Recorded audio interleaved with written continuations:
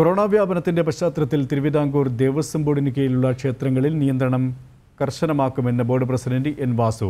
Thodupuzha Karikode Bhagavathi ക്ഷേത്രത്തിലെ തന്ത്രമഠത്തിന്റെയും ഊട്ടുപുരയുടെയും നിർമ്മാണോദ്ഘാടനം നിർവഹിച്ച് സംസാരിക്കുകയായിരുന്നു N Vasu. Devaswom chief engineer G Krishnakumar നഗരസഭാധ്യക്ഷൻ Saneesh George Ayyappa Seva Samajam ദേശീയ ഉപാധ്യക്ഷൻ Swami Ayyappadas Janam T coordinating editor Anil Nambiar തുടങ്ങിയവർ പങ്കെടുത്തു.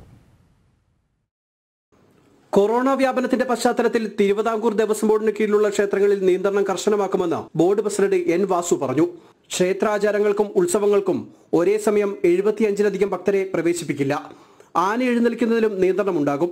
ആചാരങ്ങൾക്കനുസൃതമായുള്ള ആനകളെ മാത്രമേ അനുവദിക്കൂ.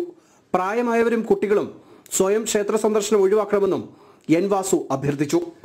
ബോർഡ് ചില തീരുമാനങ്ങൾ.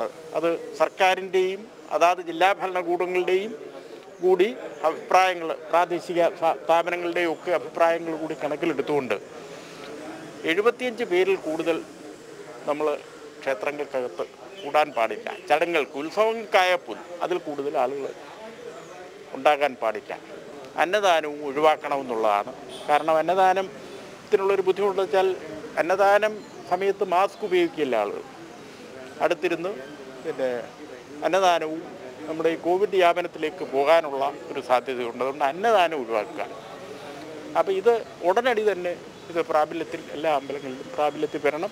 ഭക്തജനങ്ങൾ പൂർണമായിട്ട് ഇതിനോട് ഈ നിയന്ത്രണങ്ങളോട് സഹകരിക്കണം എന്നുള്ളതാണ് ഞങ്ങൾക്ക് പറയാനുള്ളത്. തൊടുപുഴ കാരിക്കോട് ഭഗവതി ക്ഷേത്രത്തിലെ തന്ത്രിമഠത്തിന്റെയും ഊട്ടുപുരയുടെയും നിർമ്മാണോദ്ഘാടനം നിർവഹിച്ച് സംസാരിക്കുകയായിരുന്നു വാസു. അമ്പത്തിരണ്ട് ലക്ഷം രൂപ ചെലവ് പ്രതീക്ഷിക്കുന്ന പദ്ധതി ക്ഷേത്രത്തിന്റെ സമഗ്ര വികസനത്തിന് നാന്ദി കുറിക്കും.